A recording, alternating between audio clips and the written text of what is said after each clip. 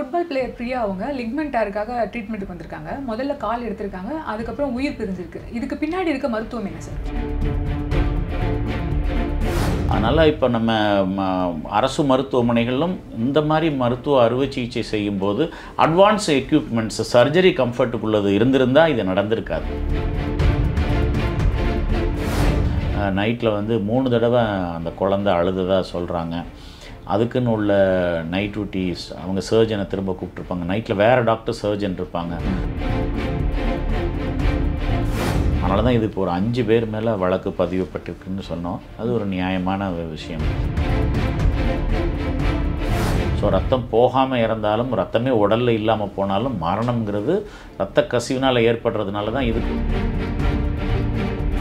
காலுக்கு ரத்த ஓட்டம் இல்லாமல் போனதுனால இந்த கெட்டை அவுக்காதனால இருபது மணி நேரம் அந்த கெட்டு இருந்ததுனால அதுக்கப்புறம் உள்ளது எல்லாமே அழுக ஆரம்பிச்சிருச்சு. நான் இன்டர்வியூ கொடுக்கும்போது டாக்டருங்களுக்கு சப்போர்ட் பண்ணி பேசுகிறீங்களே உங்களுக்கு பிரியா இழப்பை பற்றி அந்த தவப்பனை பற்றி வழி இல்லையா அப்படின்னுட்டு. வலியும் எனக்கு புரியுது. ஒரு மருத்துவனாவும் தவறு எங்கே நடந்ததுன்னு புரியுது. இது ரெண்டையும் தான் நான் பதிவு பண்ண விரும்புகிறேன் இதில். ப்ரைவேட் ஹாஸ்பிட்டல்ஸில் கவர்மெண்ட் டாக்டர்ஸை கூப்பிட்றதுக்கு நாங்கள் ரொம்ப ஆசைப்படுவோம். ஏன்னா அவங்களோட அனுபவம் ரொம்ப அதிகமாக இருக்குன்ட்டு. ஸோ அனுபவத்துக்காகத்தான் கவர்மெண்ட் ஹாஸ்பிட்டல் நிறைய ஆப்ரேஷன் அவங்க செய்வாங்க. இதுதான் டாக்டரோட நிலைமை. இது பத்தலை. என்னுடைய இன்டர்வியூக்களை என்னெல்லாம் எழுதுறாங்க? இவர் டாக்டரை சப்போர்ட் பண்ணுறார் ஐயா நாங்கள் படித்தோம் காப்பாற்ற தான் படித்தோம் தப்பு நடக்குது சில நேரங்களில் நடக்குது. ஆனால் ஒரு கொலை குற்றவாளி ஒரு ஒரு ரேபிஸ்ட்டு ஒரு ஒரு மேர்டரர் காசுக்கு கஞ்சாவுக்கு அம்மாவை கொள்றவங்க கூட கொண்டு போய் டாக்டர் நிறுத்துறது என்ன அர்த்தம் தானே கேட்குறோம்? அது எப்படி நீங்கள் எங்களை அந்த இடத்துல கொண்டு நிறுத்தலாம்? இதுதான் வாழ்க்கை. யதார்த்தத்தை புரிஞ்சுக்கணும். நம்ம வந்து என்னெல்லாம் பண்ணி இருந்தாலும் சில நேரங்கள் கைமீறி போகுது. அப்படி ஒரு இடத்த தான் நம்ம பார்க்குறோம்.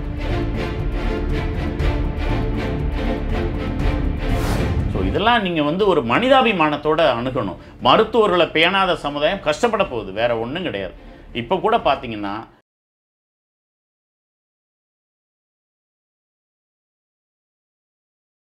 ஃபுட்பால் பிளேயர் பிரியா அவங்க லிக்மெண்ட் டேருக்காக ட்ரீட்மெண்ட்டுக்கு வந்திருக்காங்க. முதல்ல கால் எடுத்திருக்காங்க. அதுக்கப்புறம் உயிர் பிரிஞ்சிருக்கு. இதுக்கு பின்னாடி இருக்க மருத்துவம் என்ன சார்?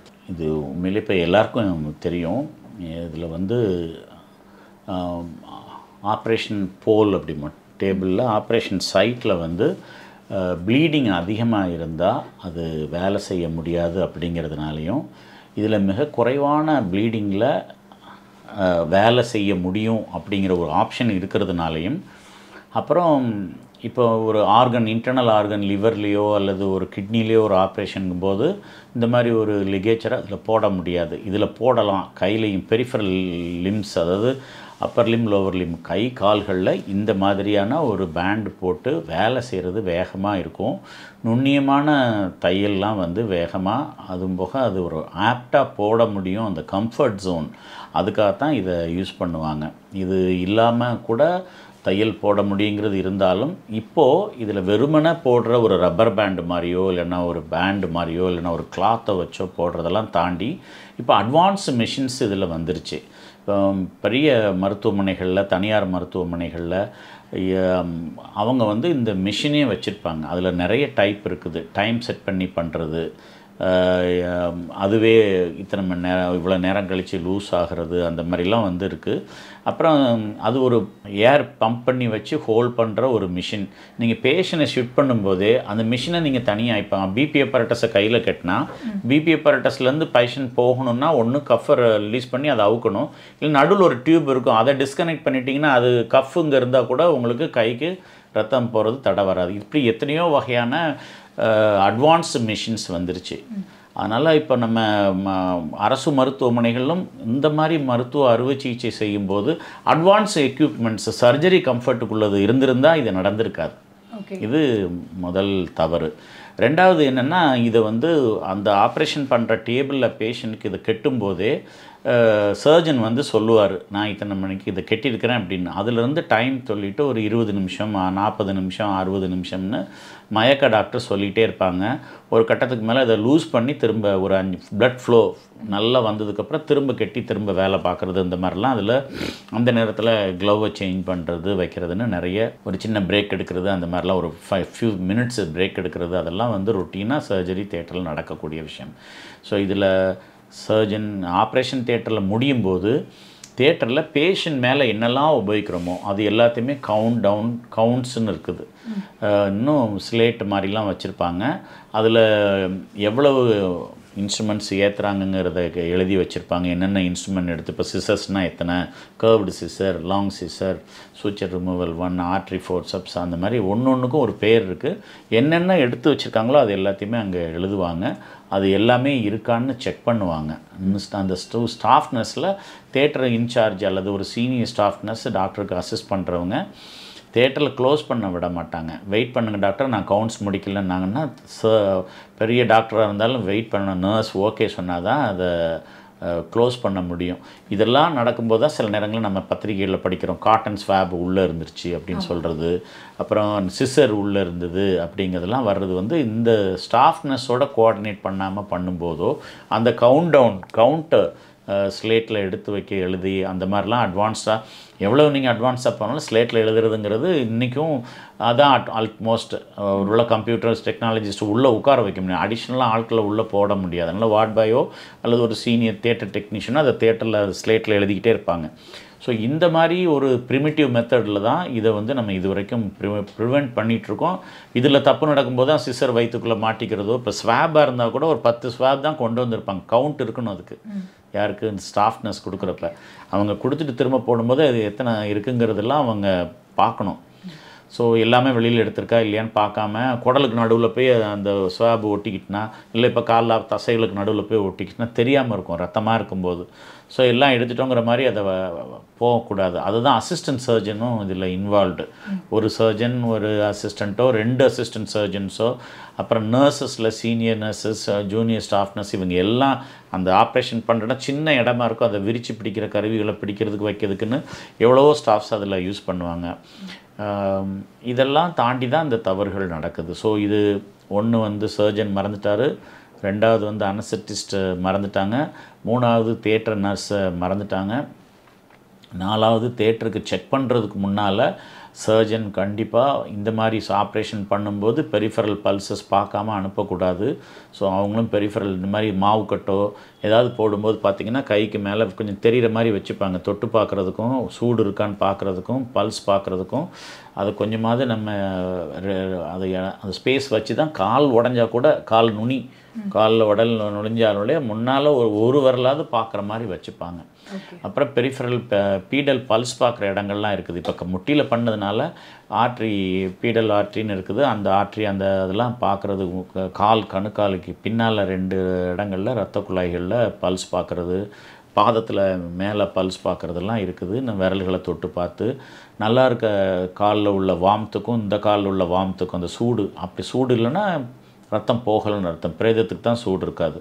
ஸோ அதெல்லாம் பார்க்க வேண்டியதெல்லாம் இது வந்து தேட்டரில் நடந்ததுன்னா போஸ்ட் ஆஃப் வார்டில் ரிசீவ் பண்ணதுக்கப்புறம் அங்கே receiving doctor duty nurse night duty nurses staff nurse night duty doctors duty doctor நைட்டில் வந்து மூணு தடவை அந்த குழந்தை அழுததாக சொல்கிறாங்க அதுக்குன்னு உள்ள நைட் டியூட்டிஸ் அவங்க சர்ஜனை திரும்ப கூப்பிட்ருப்பாங்க நைட்டில் வேறு டாக்டர் சர்ஜன் இருப்பாங்க.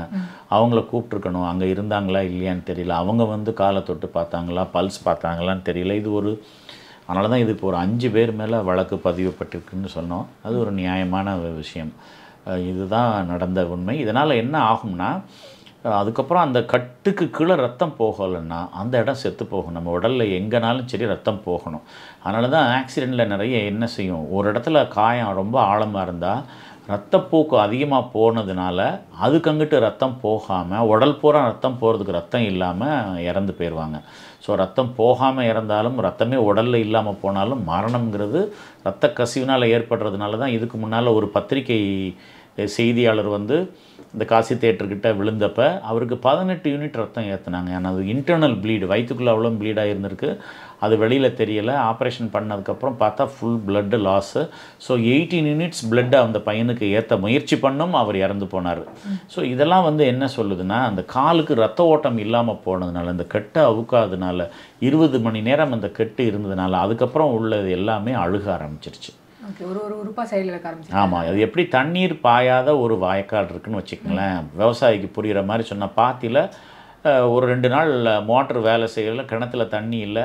நம்ம தண்ணி பாய்ச்சல திரும்ப தண்ணி ஊற்றுறோம் இல்லை ஊருக்கு போயிட்டோம் செடிக்கு வீட்டில் செடிக்கு தண்ணி ஊற்றல ஊருக்கு போயிட்டு வந்து திரும்ப தண்ணி ஊற்றினா முளைச்சா யோகம். காஞ்சி போச்சுன்னா தூர தான் போடணும். அதே தான் அந்த ப- கால்ல ஏற்பட்ட அந்த காயத்துக்கும் நம்ம சொல்ல முடியும். ஸோ அந்த இருபது மணி நேரம் கெட்டு இருந்ததுனால முதல்ல எங்கே ஆப்ரேஷன் பண்ணாங்களோ அங்கே தான் இன்ஃபெக்ஷனோ அங்கே தான் மரணம் செத்து போகிறது நெக்ரோடைஸ் ஆகிறது அங்கே தான் இருக்கும். அதில் வந்து அதிலிருந்து நிறைய மயோக்ளோபின்ஸ் அதுலேருந்து ஒரு தசைகள் செத்து போகும்போது அதிலிருந்து வெளியாகிற ஒரு என்சைம் வந்து கிட்னிக்கு கேடு. ஒரு அளவுக்கு மேலே போச்சுன்னா. இப்போ நம்ம ஆப்ரேஷன் பண்ணும்போதோ சாதாரணமாக அடிபட்டாலோ அந்த மயோகுளிபின்ஸ் மசில்ஸ் அடிபடும் போதெல்லாம் அதில் கொஞ்சம் வரும். நம்ம பார்க்குறோம்ல வீக்கம் இன்ஃப்ளமேஷன். வீக்கம் அந்த ரத்தம் வீ வீங்கி போயிருக்க இடத்துல அந்த மயோகுளோபின் இருக்கும். கொஞ்சமாக இருக்கும்போது அது கிட்னி சமாளிக்கும். ஒரே நேரத்தில் ரொம்ப அதிகமான நேரத்தில் ரிலீஸ் ஆகும்போது கிட்னி அதை சுத்தம் பண்ண முடியாமல் போய் அது தோற்று போகிறப்ப அதுக்கு சார்ந்து இருக்கிற லிவர் தோற்று போய் மல்டிபிள் ஆர்கன் ஃபெயிலியரில் அந்த அம்மா இறந்து போச்சு அந்த பொண்ணு இறந்து போச்சுது. ஓகே இப்போ பிரியாவோட மரணத்தப்போ நீங்கள் சொல்லும்போது கூட சொன்னீங்க அவங்க நடுராத்திரி மூணு வாட்டி கிட்ட அழுதாங்க அப்படின்ற மாதிரி சொன்னீங்க. ஆனால் டாக்டர்ஸ் முன்ஜாமீன் கேட்கறதுக்கு என்ன முன் வைக்கிறாங்கன்னா சம்பவம் நடந்த அன்னைக்கு கூட நான் ரெண்டு சர்ஜரி பண்ணியிருக்கேன் பிரியாவை தவிர்த்து. ஸோ நான் வீட்டுக்கு போகிறதுக்கு முன்னாடி எனக்கு சொல்லியிருந்தாங்கன்னா அதாவது எனக்கு காலில் பெயின் இருக்குன்னு பிரியா சொல்லியிருந்தாங்கன்னா நான் அதை வந்து பார்த்துருப்பேன் இந்த சம்பவம் நடந்திருக்காது அப்படின்னு சொல்கிறாங்க இதை நம்ம எப்படி சார் எடுத்துக்கிறது? அவங்க அழுகும்போது வந்து பார்த்துருந்தா இந்த சம்பவத்தை தவிர்த்துருக்கலாம் இல்லைங்களா? இல்லை அந்த டியூட்டி சர்ஜன் வந்து அவர் ஆப்ரேஷன் நல்லபடியாக பண்ணிட்டார். ஆப்ரேஷனில் தப்பு கிடையாது. அவர் போயிடுறாரு டியூட்டி டைம் முடிஞ்சதுக்கப்புறம். கோர்ட்டில் கூட நீங்கள் டியூட்டி முடிஞ்சதுக்குன்னு போனேன்னு சொன்னால் அது உங்களுடைய இது முடிஞ்சிருமா அப்படின்னு ஜட்ஜு கேட்குறதா பத்திரிக்கையில் படித்தேன் அதெல்லாம் இப்படி இப்படி கேட்டால் டாக்டருங்க குடும்பமும் குட்டியுமே வீட்டுக்குள்ளே தான் ஆஸ்பத்திரிக்குள்ளே தான் படுத்து கிடக்கணும் ஆப்ரேஷன் பண்ணிவிட்டு டியூட்டி ஹவர்ஸ் முடிஞ்சது பேஷண்ட் ஸ்டேபிளாக இருக்கான்னு தெரிஞ்சாங்கன்னா they have to move to save other patient at least if not home அடுத்த பேஷண்ட்டை சேவ் பண்ண போவாங்களா? ஒரு பேஷண்ட் ஆப்ரேஷன் பண்ணிட்டேன்னு நான் இருபத்தி நாலு மணி நேரம் ஒரு பேஷண்ட் பக்கத்தில் படுத்து கிடக்க முடியுமா? அதுக்கு தான் அடுத்த டாக்டர் இருக்கிறாங்கல்ல. Allopathy medicine does not depend on single doctor okay நான் இன்னைக்கு விட்டுட்டு போயிட்டேன். இல்லை நான் இன்னைக்கு பேசிகிட்டு இருக்கும்போதே நான் இல்லாமல் போயிட்டேன். அடுத்த டாக்டர் நாளைக்கு வந்து இந்த இடத்துல உட்காந்து என்னோட பேஷண்ட் அவ்வளோ வரையும் பார்க்க முடியும். அதுக்கு தான் கேஸ் ஷீட்டு அதுக்கு தான் சர்ஜரி ப்ரொசீஜர் ப்ரோட்டோகால்ஸ் எல்லாத்தையும் ஃபாலோ பண்ணுறங்கிறது இதில் அவர் ஒரு ஐம்பது சதவீதம் தப்பு பண்ணியிருக்காருன்னா அடுத்தவங்களும் ஒரு ஐம்பது சதவீதம் தப்பு பண்ணதாக தான் அர்த்தம். போஸ்ட் போஸ்ட் ஆப்ரேட்டிவ் வார்ட்லேயும் இதை வந்து இருபது மணி நேரம் கழித்து இன்னொரு ஆஸ்பத்திரிக்கு போய்த்தான் அது அதில் என்னென்னா அது ஒரு பெண் குழந்தை தொடையில் கட்டியிருக்காங்க. அதை துணியை தூக்கி பார்க்காம விட்டது தான் பெரிய தப்பு. இதில் தான் நம்மளோட இப்போ வெளிநாடுகளில் இந்த பெண் ஆண்லாம் கிடையாது. ஆமாம் புரியுதா உங்களுக்கு ஒரு ஆ இங்கே அது ஒரு இன்ஹிபிஷன் இருக்குது ஒரு யங் டாக்டர் டியூட்டி பார்க்குறாரு தொடையை தூக்கி பார்த்தா நர்ஸே என்ன நினைக்கும்னு ஒரு சின்ன இன்ஹிபிஷன் இருக்குது தேட்டர்லேருந்து வந்திருக்கு அது எங்கே இருக்க போகுதுன்னு நினச்சி. ஆனால் அவர் பார்த்துருக்க வேண்டியது பல்ஸு அதுக்கப்புறம் தான் நம்ம வந்து இதை போய் பார்த்துருக்கணும். பல்ஸு பார்த்துருந்து அதில் ஒரு சின்ன எங்களுக்குள்ள ஒரு எக்ஸ்பர்ட்டிஸ்ன்னு சொல்லலாம். இல்லைன்னா தூக்கத்தில் பார்க்கும்போது கூட தொட்டு பார்க்குறப்ப நம்முடைய பல்ஸே சில நேரம் இருக்கிற மாதிரி இருக்கும். ஓகே. பேஷண்ட் பார்ப்போம். அவனோட பல்ஸ் இருக்காது. அழுத்தி பார்க்கும்போது நம்முடைய விரலில் எங்களுடைய விரலில் உள்ள பல்ஸே நாங்கள் ஃபீல் பண்ணுறதுக்குள்ள வாய்ப்பெல்லாம் இருக்குது அதுலயும் தவறு நடக்க வாய்ப்பு அதில் ஆமாம் அதில் வந்து ஒன்றும் எக்ஸ்பர்ட்டாக இருக்கணும் ரொம்ப எக்ஸ்பர்ட்டாக இருக்கணும். அப்புறம் பார்க்குற பல்ஸ் அதுதானாங்கிறத ரெண்டு மூணு தடவை செக் பண்ணி பார்த்துருக்கணும். அதுதான் நான் வார்த்தை சொல்வேன். இப்போ ஐசி தேட்டர்லேருந்து வரும்போது பேஷண்ட் வந்து ஏசியில் சில்னஸ்லேருந்து வருவாங்க. அதனால தான் நிறைய நேரங்களில் தேட்டர்லேருந்து வந்தோம் நடுங்குவாங்க. இங்கே பேஷண்ட்லாம் எங்கிட்ட ஐசியூவில் கூட யாராவது இருந்துட்டாங்க போஸ்ட் ஆப்ரேட்டிவ் வார்டுனா டாக்டர் நடுங்குறாரு ஏதாவது பண்ணுங்க. எடுத்ததுக்கெல்லாம் ஊசி போட சொல்லி ஒரு கற்று கத்திட்டு இருப்பாங்க. அதுக்கு நாங்கள் ஒன்றும் பண்ண மாட்டோம். நாங்கள் மூடி வைப்போம். ஐசியூவில் ஏசி இருந்து ஆஃப் பண்ணி போடுவோம். ஒன்றுமே ஊசி கொடுக்க மாட்டேங்கிங்களான்னு அதுக்கு ஒரு கவனக்குறைவாக நாங்கள் விடுற மாதிரி கூட ஒரு குற்றச்சாட்டை ஐசியூவில் எங்கள் மேலே வைப்பாங்க போஸ்ட் ஆப்ரேட்டிவ் வார்டில் உண்மை என்னென்னா அது அதிகமான சில்னஸ் தான். அங்கே ஏற்றின மருந்துகளோட சின்ன வேலைகளும் இருக்கும். பட் எல்லாமே கொடுத்து வந்துட்டனால எதுவுமே பண்ண வேண்டியதில்லை. அதுக்கு நல்ல வார்ம்த்தாக ரூமை மாற்றுறதோ இன்னும் அட்வான்ஸ் அது நம்ம டெர்ஷரி கேர் சென்டர் கார்ப்பரேஷன் ஹாஸ்பிட்டலில் ஒரு போர்வை போட்டு அதுக்கும் ஒரு சார்ஜ் போட்டு அதை நல்ல வார்ம்த்து ஏற்றி விட்டுருவாங்க. அதுக்குன்னு வார்ம் வார்மர்லாம் இருக்குது. அந்த மாதிரிலாம் பண்ணி பண்ணுவாங்க ப்ரைவேட் ஹாஸ்பிட்டல்ஸில் ஸோ இதை நான் எதுக்கு இங்கே சொல்கிறேன் அப்படின்னா அந்த இடத்துல அந்த தேட்டரில் கூட சில்னஸ் தெரியாமல் அனுப்பியிருக்கலாம். போக பா பார்த்த வெளியில வந்து பார்த்தப்ப கூட அந்த சில்னஸில் தெரியாமல் இருந்திருக்கலாம். அதுக்கப்புறம் அது ஒரு மூணு மணி நேரம் நாலு மணி நேரங்கிறது கண்டிப்பாக duty staff nurse at night post operative வார்டில் டியூட்டி டாக்டர்ஸ் இது ஒருத்தர் இல்ல ஒரு நாலஞ்சு அதனால தான்.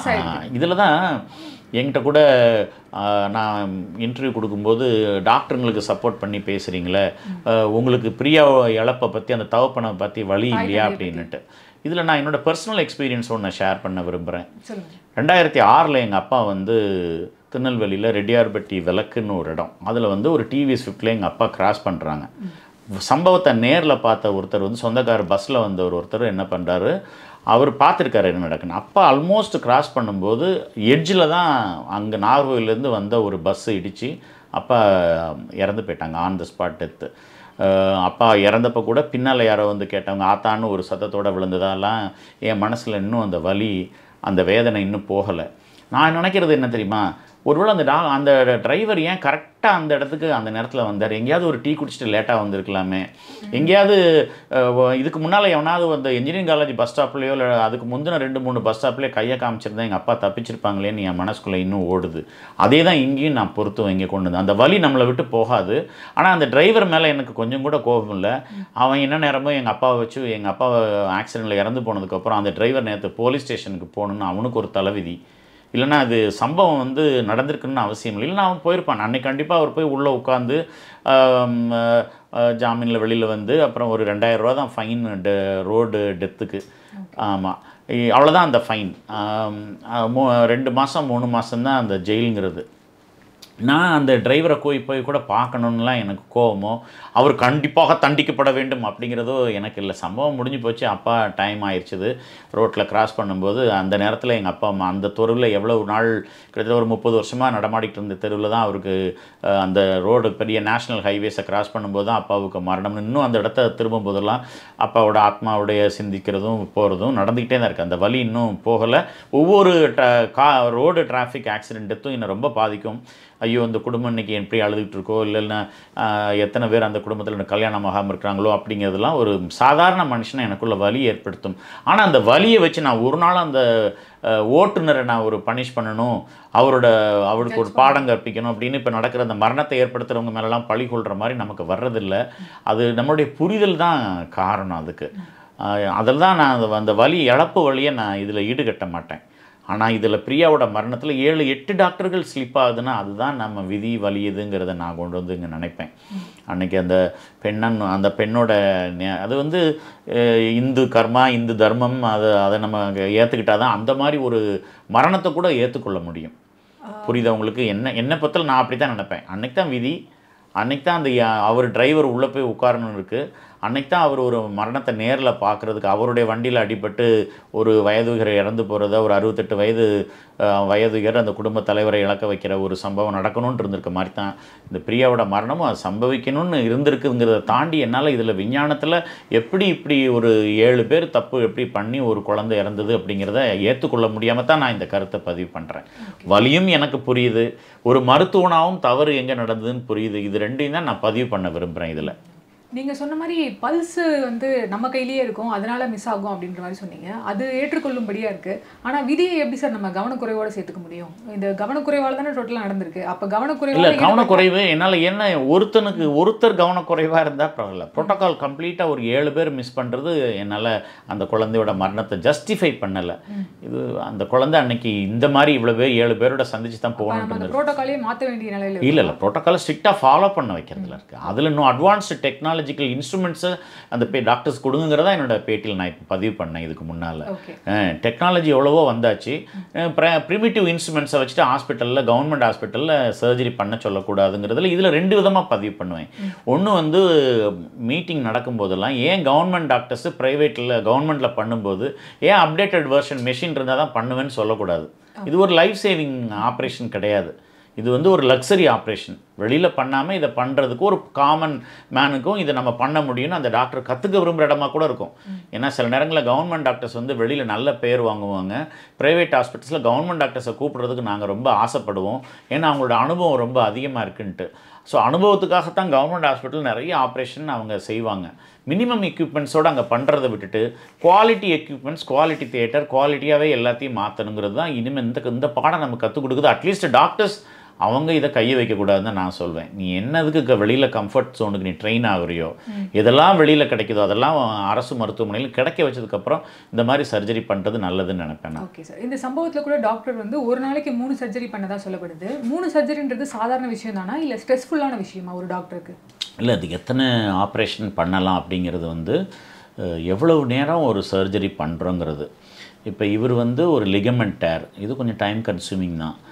இப்போ ஒரு நீ ஃப்ராக்சர் அல்லது ஒரு ஸ்பைனல் கார்ட் ஃப்ராக்சர் அல்லது ஒரு கை கா கையிலையோ காலில் போனில் உள்ள ஃப்ராக்சர் அந்த மாதிரி வரும்போது இப்போ மேக்ஸிமம் ஒரு த்ரீ டு த்ரீ ஹவர்ஸ் கூட தேட்டரில் நடக்கிறதுக்குள்ள த்ரீ டு ஃபைவ் ஹவர்ஸ் கூட டிபெண்டிங் அப்போ. அந்த மாதிரி இருக்கிறப்ப அவர் ஒரு கேஸுக்கு மேலே ஒரு பிரேக் இல்லாமல் இப்போ கவர்மெண்ட்டில் எயிட் ஹவர்ஸ்க்கு தான் டியூட்டி அதுக்கப்புறம் அடுத்த டியூட்டி டாக்டர் வந்துடுவாங்க அப்புறம் தேட்டர்லேயே கூட மூணு நாலு சர்ஜரி போஸ்ட் பண்ணியிருப்பாங்க ஸோ ஒரு தேட்டர் முடிஞ்சு ஒரு பேஷண்ட் வெளியில் வந்தோன்னா க்ளீன் பண்ணி கொஞ்சம் ஃபிமிகேட் பண்ணிவிட்டு அடுத்த பேஷண்ட் எடுத்துப்பாங்க.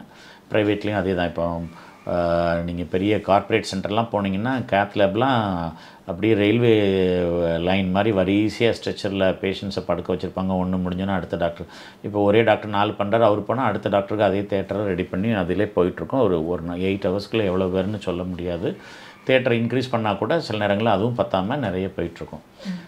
ஸோ இது வந்து நம்ம காமனாக பார்க்குற ஒரு விஷயம். ஸோ இதில் எவ்வளோ பண்ணலாங்கிறது அவங்கவுங்க கெப்பாசிட்டி டைம் அவைலபிலிட்டி ஒரு மேஜர் சர்ஜரி மைனர் சர்ஜரின்னு சொல்லுவோம். மைனர் சர்ஜரி நீங்கள் எவ்வளோ பண்ணாலும் நீங்கள் டயர்டாக மாட்டீங்க. சில நேரங்களில் மைனர் சர்ஜரி மேஜர் சர்ஜரியாக கன்வெர்ட் ஆயிரும். அது நம்ம எதிர்பார்த்து போகிறத பொ பொறுத்து இருக்க. மாதிரி நடக்கணும்னு அவசியம் இல்லை. சில நேரங்களில் மேஜர் சர்ஜரியாக இருக்கும் நம்ம ஃபாஸ்ட்டாக பண்ணிடுவோம் ஏன்னா அனட்டமிக்கலாக நம்ம தேடுற விஷயங்கள் அந்தந்த இடங்கள்ல இருந்ததுன்னா சர்ஜன்ஸ் ரொம்ப ஃபாஸ்ட்டாக பண்ணுவாங்க. ஸோ இட் டிபெண்ட்ஸ் பட் இப்போ மூணு சர்ஜரி பண்ணாருங்கிறத அவங்க டார்கெட்னு அந்த இடத்த சொல்லலை. இதில் வந்து அவர் மற்ற ரெண்டு சர்ஜரியும் அன்னைக்கு நல்லா இருக்கிறாங்க. தேர்ட் பேஷண்ட்டும் சர்ஜரி சக்ஸஸ்ஃபுல் பட் இந்த மாதிரி ஒரு சின்ன ப்ரோட்டோகால் மிஸ்டேக்கில் ஒரு க டார்னிக்கை அனுப்பாமல் எடுக்காமல் அனுப்புனது தான் தப்புங்கிற தவிர பத்து ஆப்ரேஷன் பண்ணி பத்துலேயும் டார்னிக் அனுக்கலைன்னா தப்பு. ஒரு ஆப்ரேஷனில் பண்ணாமல் இருந்தால் மட்டும் இல்லை.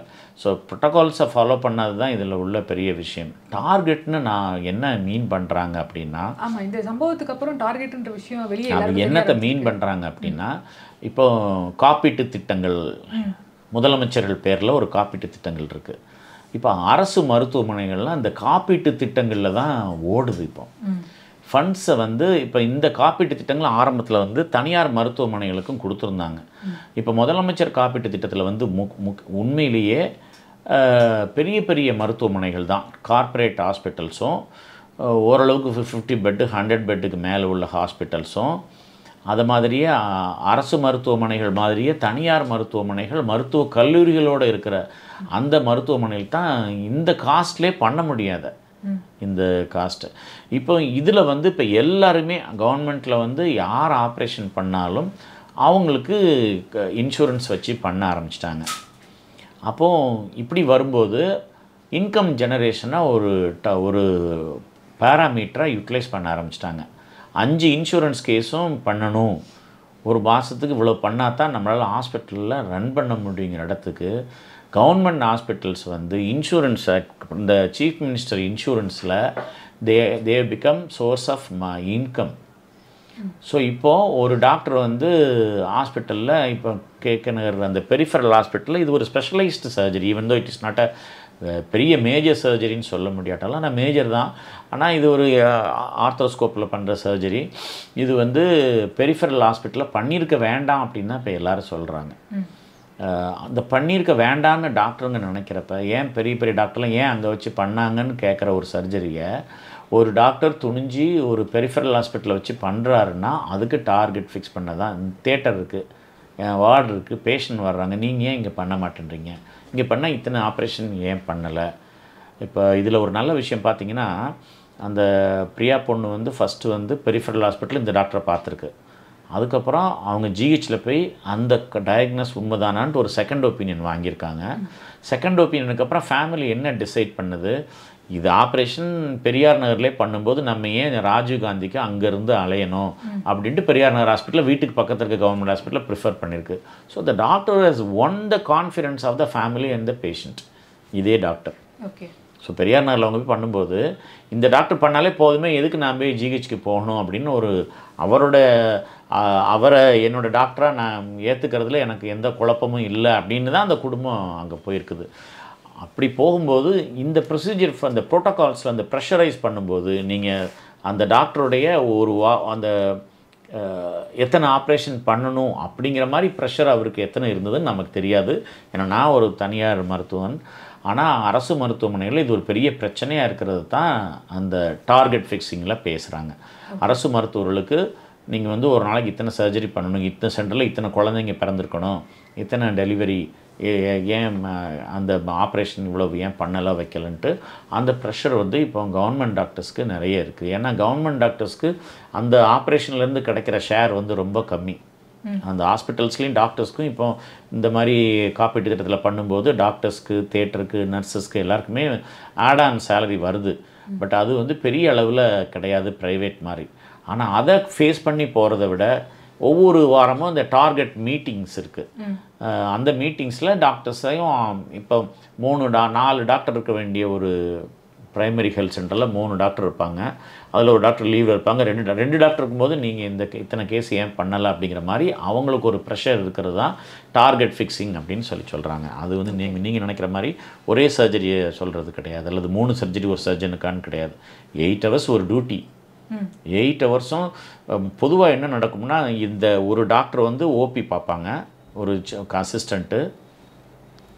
அவரோட டியூட்டி ஹவர்ஸில் யாரெல்லாம் வர்றாங்களோ அதெல்லாம் அவர் தான் டீல் பண்ணணும். அவர் அட்மிஷன் போட்டாருன்னா அல்லது அவரோட பிஜி அவருடைய சிஆர்ஆர்ஐ போட்டாங்கன்னா அல்லது சிஆர்ஆர்ஐ போட்டதை அந்த நேரத்தில் இருக்க பிஜி எந்த பிஜியோ அந்த பிஜி எந்த அசிஸ்டண்ட்டுக்கு அட்டாச்னா உங்களுக்குள்ளே பிரிச்சிருப்பாங்க.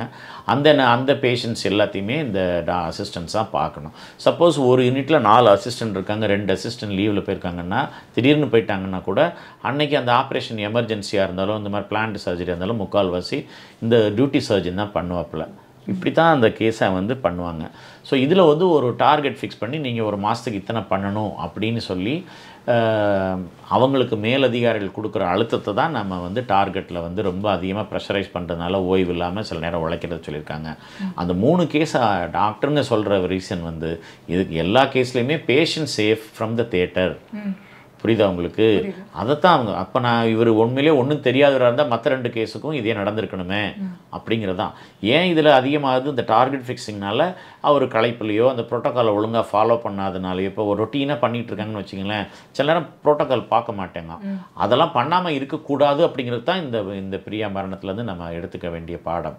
ஓகே இப்போ தமிழ்நாடு அரசு மருத்துவர்கள் சங்கம் இருக்காங்க இல்லையா? அவங்க என்ன சொல்லிருக்காங்கன்னா பிரியா மரணத்தில் சம்மந்தப்பட்ட டாக்டர் மேலே ஒழுங்கு நடவடிக்கை தான் எடுக்கணும். அவங்களை கைது பண்ணீங்கன்னா நாங்கள் தமிழகம் தழுவிய போராட்டம் நடத்துவோம் அப்படின்னு சொல்லியிருக்காங்க. இதை நீங்கள் எப்படி சார் பார்க்குறீங்க நான் முதல்ல இருந்தே நான் இதை தான் சொல்லிகிட்டு இருக்கிறேன் இப்போ வந்து பிரியா மரணத்தை தாண்டி மருத்துவர்கள் எல்லோரும் தைரியமாக அறுவை சிகிச்சை செய்ய டாக்டர்கள் எல்லாரும் மருத்துவமனைக்குள்ளே ஏன் ஊசி போடுறதுலேயே வச்சுக்கோங்களேன். இப்போ எல்லா ஆஸ்பத்திரியிலும் என்ன நடக்குது இப்போ சமீபத்தில் நம்ம ஃபேஸ்புக்கில் கூட பார்த்தோம்.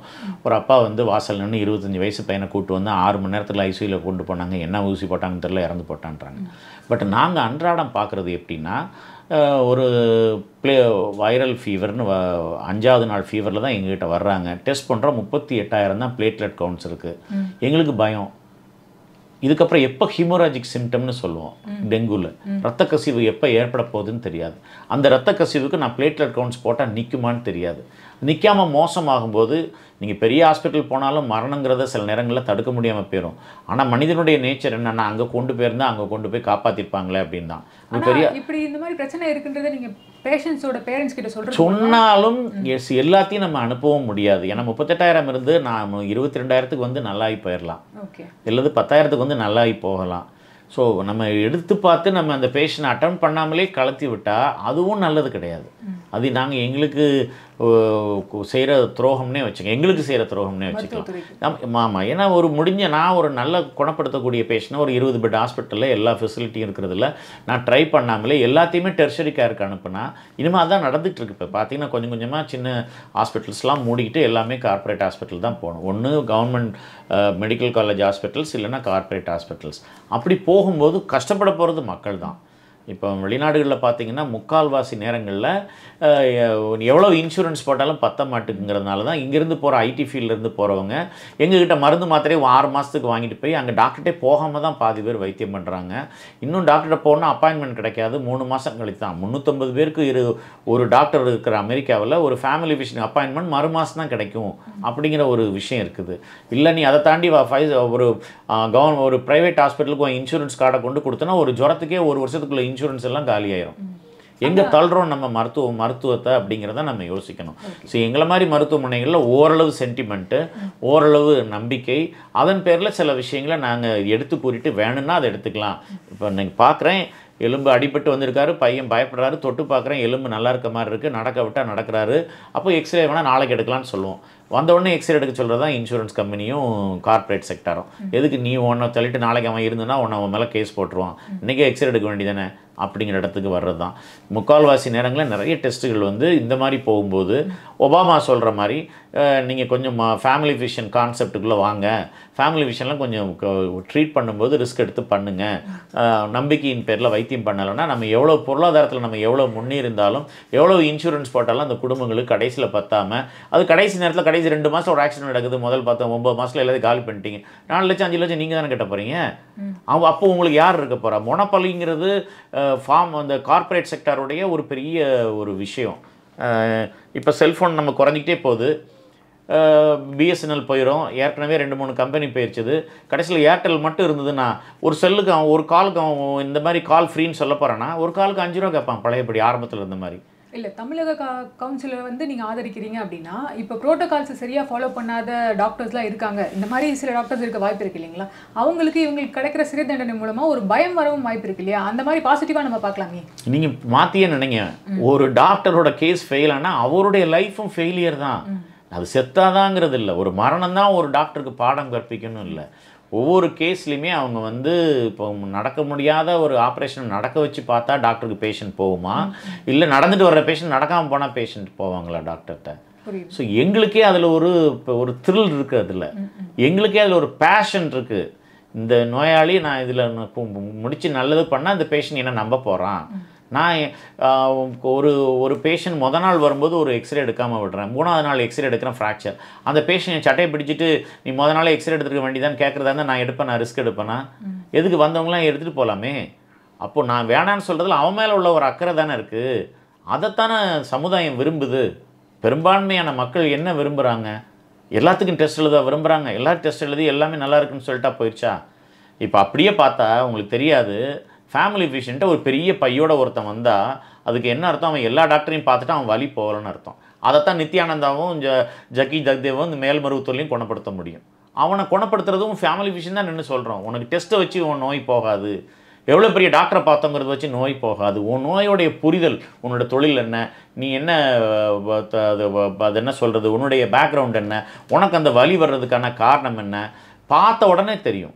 அதெல்லாம் ஒரு ஃபேமிலி ஃபிஷன் தான் அதை அவுட் சோர்ஸ் பண்ணி இந்த காரணம் தான் இது ஒன்றும் பயப்பட வேண்டாம் இது எல்லாருக்கும் வந்திருக்கு ஒரு கதையை அடிச்சு விடுவாங்க எனக்கே இது வந்து நல்லாயிருச்சு அப்படின்னு ஒரு டாக்டருங்க சொல்லும்போது அப்படின்னா டாக்டருக்கே வந்திருக்கு இது நல்லா இருக்குன்னு நினச்சா அதில் பாதி பேர் குணமாவாங்க. இதைத்தான் ஒரு ஃபேமிலி ஃபிஷன் சேம்பரில் உட்காந்து பண்ணிட்டு இருக்காங்க. இதை வந்து நீங்கள் முழுக்க முழுக்க விஞ்ஞானம் தான் வந்துருச்சு விஞ்ஞானத்திலே பண்ணுவோம்னு நினச்சா ஐசியூ டார்ச்சருங்கிற வார்த்தை வந்திருக்காது. ஐசியூ டார்ச்சர்னால் தெரியுமில்ல மரணம் த சம்பவிக்கிறதை தவிர்க்க முடியாத நேரத்தில் கூட நான் விஞ்ஞானம் கையில் இருக்குன்னு ஒரு வெண்டிலேட்டரில் போட்டு ஒரு ஒரு ஒரு வயதானவரை அவர் வீட்டில் இயற்கையாக டிக்னிஃபை டிக்னிட்டி டிக்னிஃபைடு பர்த் எவ்வளோ உண்மையோ அதோட டிக்னிஃபைட் டெத்தும் இருக்கணும். அக்செப்ட் பண்ண தான் செய்யணும். ஒரு வயசான தாத்தாவை எண்பத்தஞ்சு வயசில் போயிட்டு வெண்டிலேட்டரில் போட்டு பத்து நாள் எடுக்கிறதுலையும் அர்த்தம் இல்லைல்ல?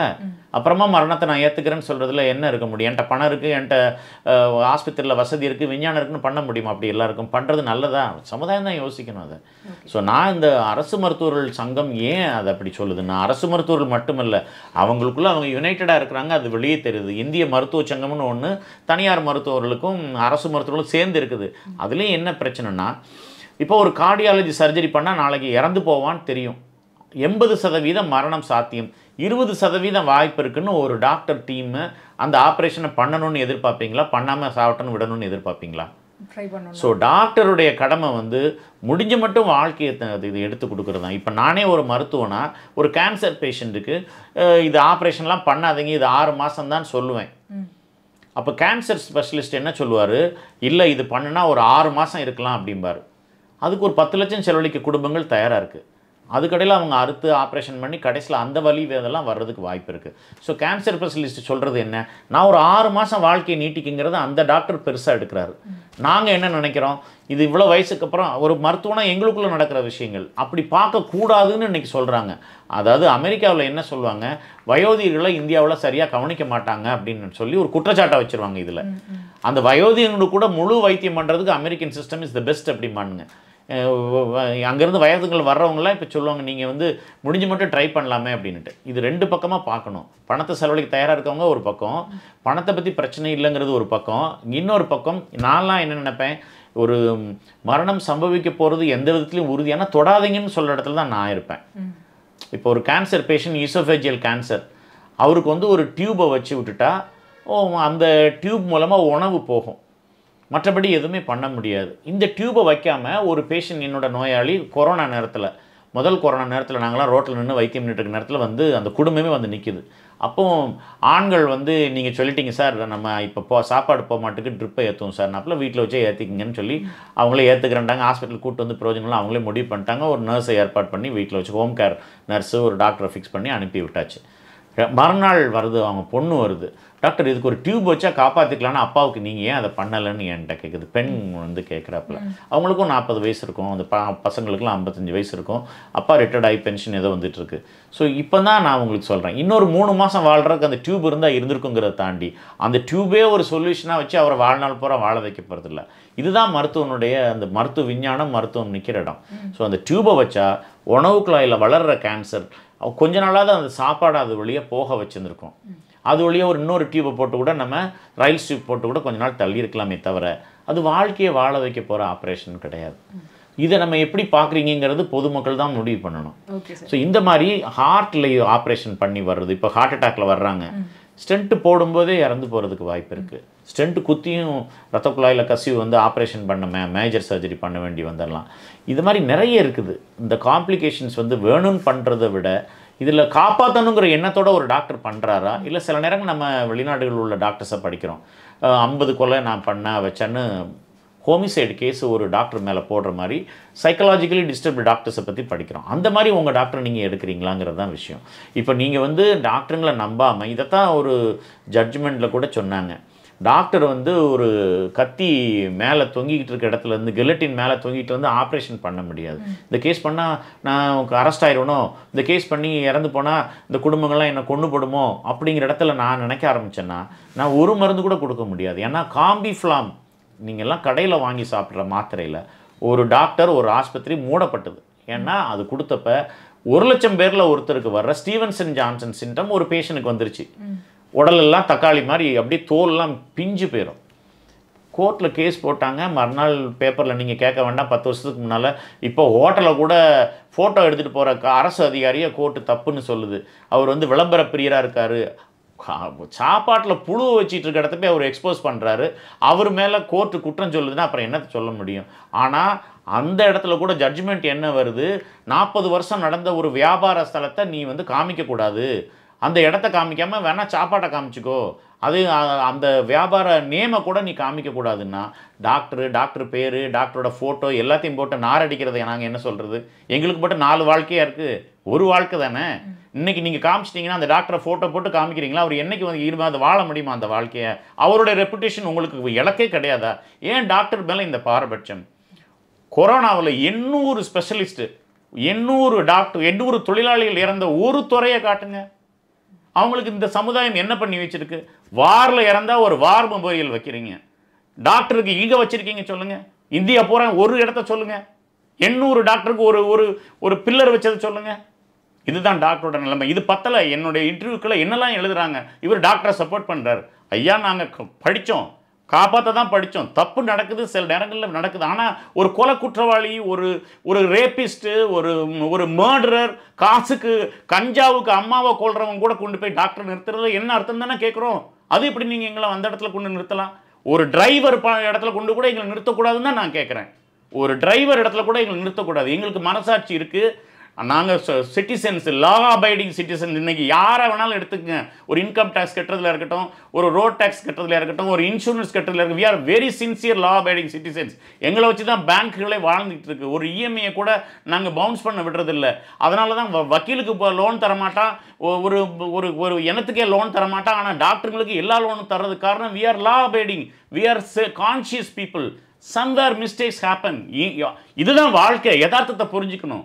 நம்ம வந்து என்னெல்லாம் பண்ணியிருந்தாலும் சில நேரங்கள் கைமீறி போகுது. அப்படி ஒரு இடத்த தான் நம்ம பார்க்குறோம். அப்படி ஒரு மரணத்தை தான் நீங்கள் எந்த ஆஸ்பத்திரிலையும் பார்ப்பீங்க. எங்களால் முடியல அப்படின்னு வர்ற ஒரு மரணத்துக்கு நீங்கள் ச சமுதாய மருத்துவர்கள் கூட நிற்கணுமா ஒரு விஞ்ஞானம் அந்த விஞ்ஞானம் வந்து இப்போ ஸ்பேஸ் இது எடுத்துக்கோங்க. கல்பனா சாவ்லாவோட எட்டு பதினோரு பேர் இறந்து போயிட்டாங்க. அந்த ப- விமானம் வெடிச்சு அது எப்படி வெடிச்சிருக்கலாம்? அதுக்காக அந்த நாசா டைரக்டர் மேலே நீங்கள் பழி போடுறீங்க. பாலம் தொங்கு விழுந்தது. ஏதாவது பழி போடுறீங்க? போஸ்ட்மார்ட்டம் தான் பண்ணுறீங்க பில்டிங் ஸ்கூலில் குழந்தைங்க பில்டிங்கில் மேலே இருந்து விழுது. நம்ம வீடு கட்டினா முப்பது வருஷம் இருக்குது. அங்கே மட்டும் ஏன் இப்படி விழுந்தது? அந்த இன்ஜினியர் அரெஸ்ட் பண்ணியிருக்கீங்க அந்த க மினிஸ்டர் அரெஸ்ட் பண்ணுறீங்க அந்த அந்த யாராவது கவர்மெண்ட் அஃபிஷியல் இது வரைக்கும் எத்தனை விஷயங்கள் நடக்குது? ரோட்டில் விழுற ஒவ்வொரு ஆக்சிடென்ட்லையும் இப்போல்லாம் சொல்கிறான் நாற்பது சதவீதம் ரோட்டில் இறந்து போகிறதுக்கு ரோடுகள் பராமரிக்கப்படாத தான் காரணன்றான். அந்த இன்ஜினியர்ஸை என்னைக்காவது நீங்கள் ஏதாவது கேட்குறீங்களா ஏன் டாக்டருங்க உங்கள் மேலே தொட்டு தழுவி உங்களுடைய அது உங்களுக்கு தெரியாது.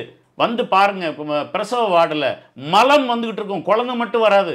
நாத்தம் அடிக்கும். மாஸ்க் வேற போட்டிருக்கணும். ஒரு மணி நேரம் மாஸ்க் போடாமல் கலத்துறீங்க. ஒரு நாள் பூரா இருந்தாங்க. நான் வார்டில் இருந்து அவ்வளோ பேரும் மாஸ்க் போட்டு நிற்போம் எவ்வளவு நாற்றத்தோடு அங்கே நிற்பாங்க சீல் அறுப்போம். தியேட்டரில் நிற்க முடியாது. அவ்வளோ கொமட்டும். சாப்பிட முடியாது. அவ்வளோ பண்ணிவிட்டு மறுநாள் அந்த சீலை அறுக்க மாட்டேன்னு சொல்லிட்டு இந்த டாக்டர் அது போயிருக்காங்க. ஸோ இதெல்லாம் நீங்கள் வந்து ஒரு மனிதாபிமானத்தோட ஒரு மருத்துவனை என்னைக்கும் அணுகுங்க. நீங்கள் எவ்வளோ காசு கொடுத்தாலும் உங்கள் வீட்டில் அவர் கேட்குறாங்க இந்த பெரியாரிஸ்ட் கேட்குறாங்க பிராமின் எவராவது வந்து வீடு சுத்தம் பண்ணுற பணி நாட்டை சுத்தம் பண்ணுற பணி டாய்லெட் அல்றதுக்கு வர்றானான்னு ஒரு டாக்டர் பிராமணனாக இருந்தாலும் சரி நான் பிராமின்ஸ் அந்த டாக்டருக்கு நாங்கள் கை வைக்கிற இடத்துல நீங்கள் சமுதாயம் நிற்பீங்களான்னு மட்டும் பாருங்கள் சொந்தக்காரனுக்கு நாங்கள் எடுக்கும்போது ஓடுற ஜனங்கள் தான் இருக்கிறாங்க. ஐபிஎல் வெளியில் உட்காந்து சாதாரண உடஞ்சிக்கிட்டு இருக்கோம். சீல் அடிக்கும் ஓடும் குடும்பங்கள்லாம். நாங்களும் நர்ஸ் இருந்து அந்த சு- அந்த சுத்தத்தை சுத்தம் பண்ணி தான் வீட்டுக்கு அனுப்புகிறோம் புழு வரும். இப்போ கூட சமீபத்தில் திருவண்ணாமலையிலேருந்து ஒரு க அவருக்கு நான் சக்கரவியாதி இருக்கும் அது இருக்கும் பயந்துகிட்டே போகிறோம் ஒன்றுமே இல்லை. அவ்வளோ புழுவையும் அன்னைக்கு எடுத்து ஒரு மருந்து கொடுத்து பூச்சி மருந்து கொடுத்து மறுநாள் கொடுத்தா பாதி அஞ்சாவது நாள் தான் அந்த புழு நிற்கிது அந்த புழுவை பார்த்ததுக்கப்புறம் எப்படி சாப்பிட்றது எவ்வளோ கஷ்டமான விஷயம்? ஒரு மனுஷனோட புழுவை பார்த்தது. என்னைக்கோ ஒரு தாத்தாவை வீட்டில் புழுவோட பார்த்துட்டு ஊர் என்ன பேசிக்கிட்டு இருக்கு? ஸோ இதெல்லாம் நீங்கள் வந்து ஒரு மனிதாபிமானத்தோட அணுகணும். மருத்துவர்களை பேணாத சமுதாயம் கஷ்டப்பட போகுது. வேற ஒன்றும் கிடையாது. இப்போ கூட பார்த்தீங்கன்னா பல்மரி எடிமான்னு ஒரு சுச்சுவேஷன் ஓடி வரும்போது மூச்சு இறக்கும் வியர்க்கும். அவனுக்கு காற்று கிடைக்காம டாக்டர் டாக்டர்மாங்க அந்த நேரத்தில் லாசிக்ஸ்னு ஒரு இன்ஜெக்ஷன் அவனுக்கு வந்து கிட்னி ஃபெயிலியர் ஹார்ட் ஃபெயிலியர்னால சிறுநீரகம் வெளியேற்றாமல் நுரையீரலில் மூணு நாளாக இருக்க நாலு நாளாக இருக்க மூச்சு இறக்கிறதோட தான் அவங்க இதுக்கு வருவாங்க. பல்மனரி எடிமா சிம்பிளாக வராது. லேசாக இருக்கும்போது வர்றவங்கள உடனே காப்பாற்றிக்கலாம் மோசமாக வர்ற அதுவும் அந்த இல்லாதப்பட்ட ஜனங்கள் தான். எங்களுக்கெலாம் எங்களுக்கெல்லாம் வேதனையாக இருக்கும். ஏன்னா அவனை அவனுக்கு என்ன பண்ணாலும் எங்களுக்கு காசு நிற்க போகிறதில்ல அவனை ஒரு ஒரு இன்ஜெக்ஷனை போட்டு அந்த இல்லாதவனுக்கு வைத்தியம் பண்ணுவோம். இருக்கவனுக்கு தொட மாட்டேன். இல்லாதவனுக்கும் குடும் கூட வர்றவன் ரவுடியாக இருக்கான் குடிச்சு படுறதுக்கு நான் தொடவே மாட்டோம். ஓரளவுக்கு எனக்கு தெரிஞ்ச பேஷண்ட் அந்த குடும்பம் என்ன நேசிக்கிற பேஷண்ட் அந்த குடும்பம் என்ன புரிஞ்சுக்கிட்ட பேஷண்டாக இருந்தால் லாசிக்ஸ் ஒரு நாற்பது மில்லிகிராமோ ஒரு எண்பது மில்லிகிராமோ தைரியமாக போட்டுட்டு ஆட்டோவில் போட்டு அனுப்புனா சமீபத்தில் நடந்த சம்பவம் நான் ஆஸ்பத்திரியில் சேர்க்க மாட்டேன்னு அனுப்பியிருக்கேன். அவங்க அங்கே கொண்டு போயிட்டு அங்கே வச்சுருந்துட்டு ஓபியாக வச்சுருந்து அனுப்பிட்டாங்களாம். அந்த அம்மா என்கிட்ட வந்து சொல்லுது சார் நீங்கள் இருபதாயிரம் முப்பதாயிரம் ஆகும் சேர்க்க மாட்டேன்னு சொன்னீங்க சார். அங்கே போகிறதுக்குள்ளே மூச்சு இறக்கிறதெல்லாம் நின்று நல்லாயிட்டாங்க. ஆஸ்பத்திரியில் ஒன்றும் இல்லைன்னு ஒரு ரெண்டு மணி நேரம் வச்சு அனுப்பி விட்டாங்க சார்னு. இதுதான். அந்த உயிரை காப்பாற்றிருக்கிறோம் அன்னைக்கு. அதுக்கு என்ன கிரீடமாக வரப்போகுது? அந்த அம்மா அன்னைக்கு என்ன கொடுத்துட்டு போயிருக்குன்றீங்க? ஒன்றும் கொடுக்காம போச்சுது. அதுக்கு ஒன்றும் வாங்க முடியல. ஏன்னா அது இல்லாத இருக்கு கூட வர்றவங்க எவன்ட்டையும் காசு இல்லை. ஒரு ஆட்டோவில் தூக்கிட்டு வந்திருக்காங்க. ஆட்டோ டிரைவரோட சொந்தக்காரங்க மாதிரியோ இப்போ நெய்பர் மாதிரி தூக்கி போட்டு கொண்டு பாப்பா எப்படியாவது காப்பாத்துன்னு சொல்லி தான் அனுப்பிவிட்டோம். அப்போ வந்து சொல்லும்போது எங்கள் மனம் எனக்கெல்லாம் உண்மையில் அன்னைக்கு எடுத்து வச்சிருந்தா ஒரு முப்பதாயிரம் தேர் இருக்குமே? இதை கூட நம்ம ஜிகிச்சுக்கு அனுப்புறமே தான் ஒரு ஒரு ஏமாளித்தனமான ஒரு சிரிப்பு தான் நகைப்பு தான் உள்ளே வரும். ஆனால் காப்பாற்றப்பட்டது காப்பாற்றப்பட்டதான் இதே நான் ஒரு இருக்கப்பட்டவருக்கோ ஒரு ஒரு வக்கீலோட சொந்தக்காரங்களுக்கோ ஒரு ஒரு சட்டம் படித்தவருக்கோ இல்லை ஒரு படித்தவர் மாதிரி இருந்தால் நான் ஏன் போடணும்? சார் அப்படியே கொண்டு போங்க. ஒரு ஊசி இது கிடையாதுன்னு சொன்னால் தான் சாமர்த்தியமாக நான் ஊசி போட்டு வாசலில் அந்த தண்ணி இறங்குறதுக்குள்ளே ஹார்ட் ஃபெயிலியர் ஆகி நின்று போயிட்டா என்ன சட்டையட்டி பிடிக்கிறவனுக்கு நான் அதை போட போகிறேன்னா இப்படி ஊசி போடுறதுலே காப்பாற்ற முடியாமல் போச்சுன்னா யாருக்கு நஷ்டம்?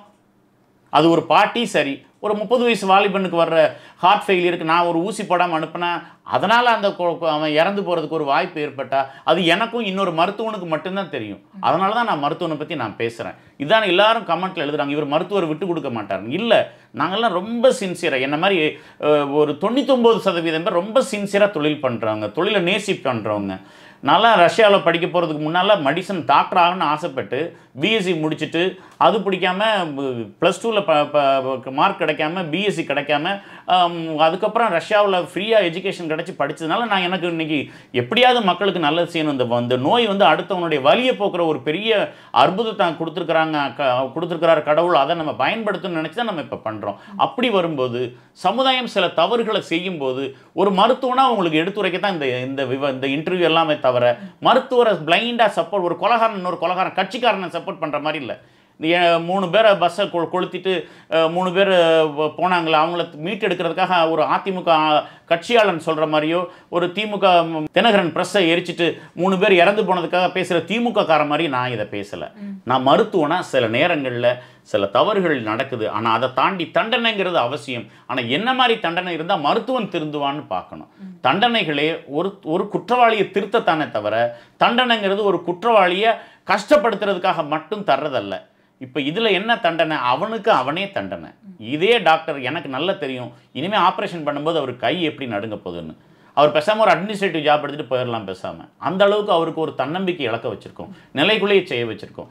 நிறைய நேரங்களில் இப்போ நான்லாம் இப்போ வேலை பார்த்த ஒரு ஹாஸ்பிட்டலில் டாக்டர் ஒரு ரெண்டு மூணு நாள் பேஷண்ட் தொடர்ந்து இறந்து போகிறாங்க காரணமே இல்லைன்னா அவர் லீவ் போட்டு திருவண்ணாமலைக்கோ திருப்பதிக்கோ போயிடுவார். சாமி கும்பிட்டு வருவோம் அப்படின்னுட்டு.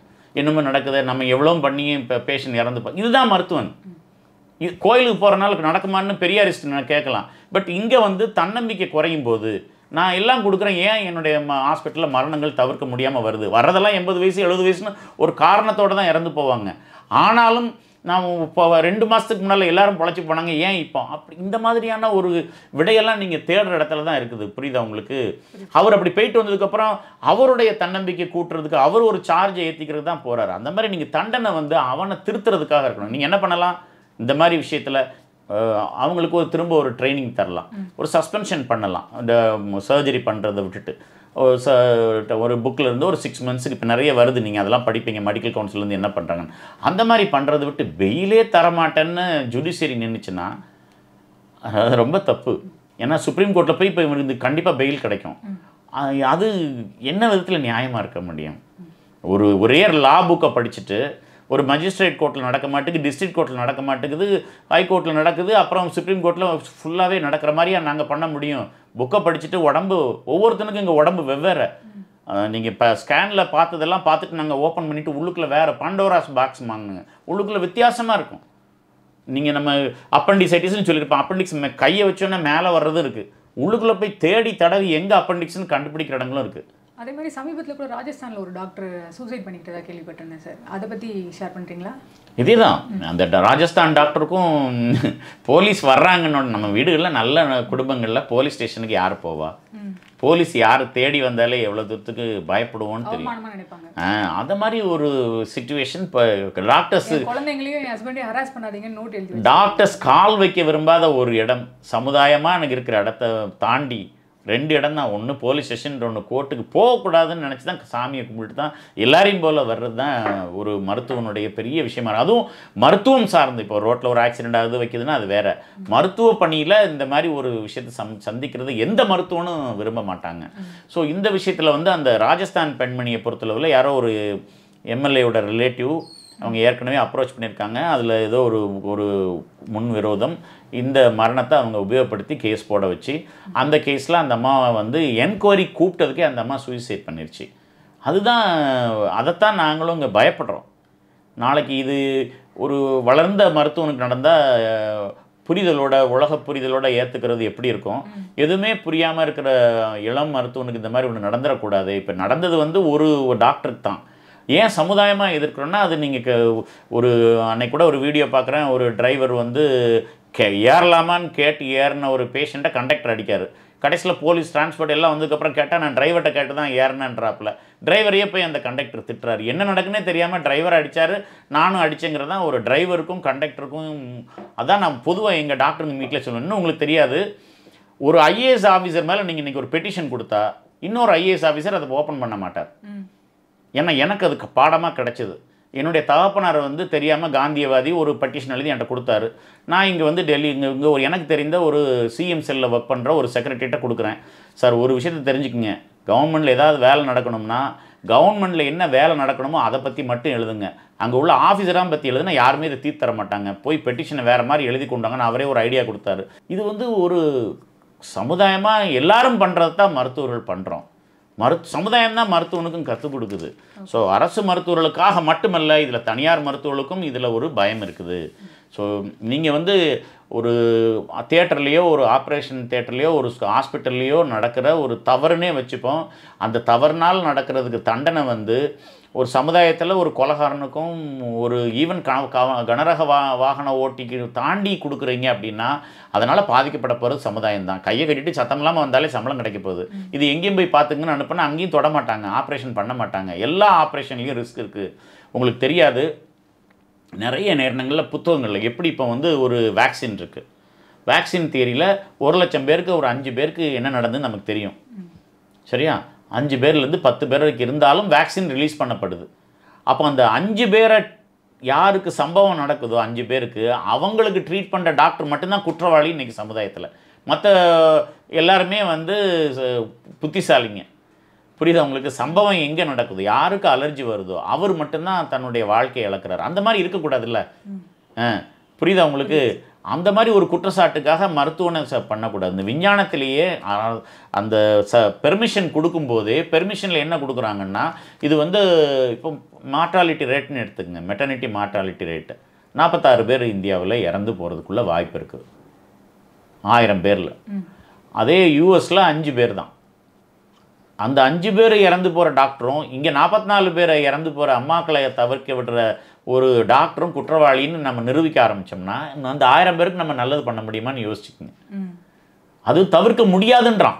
நீங்கள் எந்த வித் வித்தனாக இருந்தாலும் சரி எவ்வளோ பெரிய கட்டமைப்பு இருந்தாலும் சரி எவ்வளோ பெரிய ப்ரோட்டோகால்ஸ் இருந்தாலும் சரி இந்த இன்ஃபென்ட் மர்டாலிட்டி மார்ட்டாலிட்டி ரேட் வந்து அப்போ வளர்ந்த நாடுகளில் இல்லாமலே ஜீரோ ஆயிருக்கணும். அந்த மாதிரி கொண்டு போக முடியாது. ஏன்னா இறைவன் படைக்கிற விதங்கள் இருக்குது. ஒரு கர்ப்பப்பைய சுருங்காமல் போகிற ஒரு தன்மையோட ஒரு குழந்தை பிறந்த ஒரு அம்மா பிறந்திருந்தா அதுக்கு ஆப்ரேஷன் பண்ணாமல் கடைசி வரைக்கும் ட்ரை பண்ணுற மாதிரி இருந்திருந்தா ஸோ இதெல்லாம் வந்து என்ன சொல்ல வருதுன்னா அதனால தான் பிரசவத்தை இன்னும் நம்ம வளைகாப்பு மூலமாக அந்த பெண்ணை வந்து நம்ம கொண்டாடி அதை உற்சாகப்படுத்தி மரணம் மறு பிறவி தான் ஒரு இப்போ ஒரு பிரசவம் அப்படிங்கிற இடத்துக்கு கொண்டு வந்துட்டு கடைசியில் நடக்கிற ஒன்று ஒன்றுக்கும் டாக்டர் இல்லை நர்ஸ் இல்லை டாக்டர் தான் நர்ஸ் தான் சொல்கிறது தான் நம்ம நாங்கள் அன்றாடம் பார்க்குற ஒரு விஷயம். புரியுது உங்களுக்கு? அதாவது தவ எங்கேயுமே ஒரு மரணம் நடக்கலாம் மாட்டிக்கிட்டவங்க முடிச்சு மா டாக்டர் மாட்டிக்கிட்டவங்க தான் உள்ளே போகணும். அந்த நேரத்தில் நீ எதுவுமே பண்ண முடியாதுங்கிறது எல்லாருக்கும் தெரியும். அதனால தான் நாங்கள் மருத்துவர்களாக மருத்துவர்களை பற்றி மருத்துவத்தை பற்றி உங்களுக்கு சொல்லித்தரோம். ஒரு ஒரு ஒரு லட்சம் பேரில் ஒரு ஒருத்தனை ஒரு பத்து பேரை இழந்து போகிறதுக்காக இந்த மருத்துவத்தையே நீங்கள் மறுக்கக்கூடாது.